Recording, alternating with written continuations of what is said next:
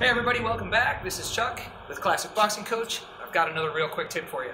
This one, very simple, very basic. We're gonna talk about footwork. So come on over, these are gonna be quick and easy. So check it out. All right. When it comes, when it comes to footwork, what you really gotta know, one big rule, don't cross your feet, right?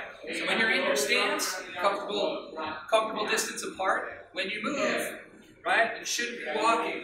One foot moves and the other one matches, right? It's all about being consistently in your stance. You want to go from your toes to your toes, right? No putting the heel down here, right? Straight in, straight back. When you're moving side to side, it's the same thing. Lead leg goes, rear hand, rear foot trails. Same thing in the other direction, right? Now the reason I tell you to drag your feet is because if you walk, your feet will tend to come together or cross. And if they're crossed, you're really on one leg no power there. So sharpen up your footwork, guys. Stay on your toes. Don't cross your feet. If you like this tip, give it a thumbs up. Share it. If you got something you'd like to know, write in the comments. Visit our website,